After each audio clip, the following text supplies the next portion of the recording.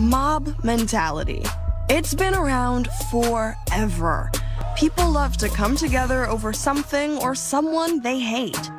The court of public opinion has always been harsh. Hey you. But now with social media, they can do it instantaneously. People from all corners of the globe could now unite anonymously against a perceived common enemy. These days, all it takes is the touch of a screen and someone is canceled.